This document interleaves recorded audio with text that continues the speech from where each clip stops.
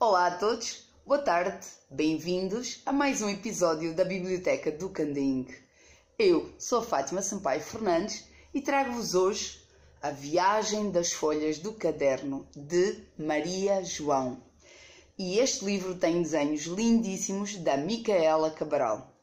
Quando vocês ouvem as histórias aqui, uh, é maravilhoso, não é? Viajamos todos, mas mesmo assim, comprem os livros, os livros dos nossos autores, está bem? Que é para eles poderem continuar a escrever também.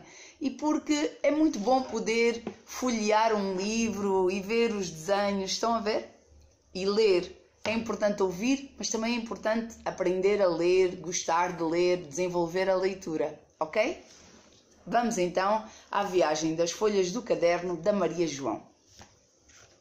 Com os desenhos lindíssimos da Micaela Cabral, tá bom? Eu era um caderno bonito. Tão bonito que, igual a mim, naquele armário, outro não havia.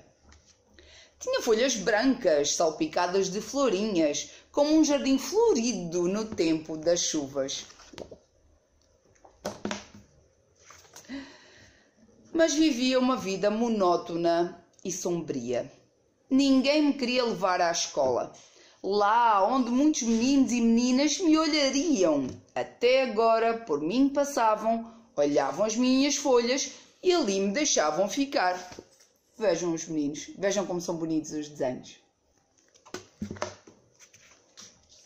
Aconteceu que, um dia, uma menina de cara tranquila, olhos grandes, pretos e irrequietos, me levou na sua pasta. O que de mim queria fazer? Não sei. Nunca cheguei a saber. Porque? Deixem que eu vos conto. Os dias foram passando. A minha dona nem atenção me prestava. Os outros cadernos e livros, comigo, não queriam conversar. Um dia, a minha dona deixou a pasta da escola aberta. Devagarinho, de mansinho, fui escorregando e saí.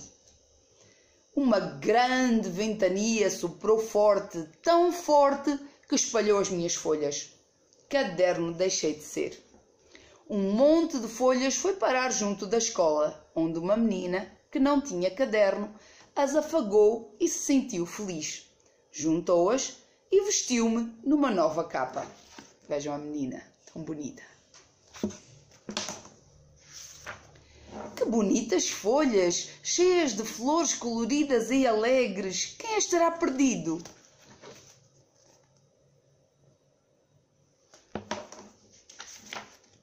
Não sei. Ninguém me prestava atenção. Escapei-me de uma pasta onde uma menina me tinha arrumado. Ninguém queria falar comigo. E então resolvi fugir. Um vento mau apanhou-me e desfolhou-me. Ai, que vai ser de mim agora? Ah, que bom! Ficas a ser meu, disse a menina. Uh, e o que vais fazer de mim? Vejam a menina. Vou pôr-te uma capa nova, disse a menina. Depois vou recortar-te e com as tuas lindas flores farei capinhas para os meus cadernos e vestidinhos para a minha boneca de papel. Ela vai ficar bonita.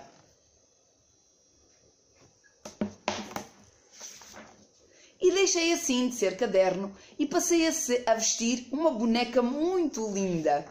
Um dia, a minha boneca foi à festa de uma amiga.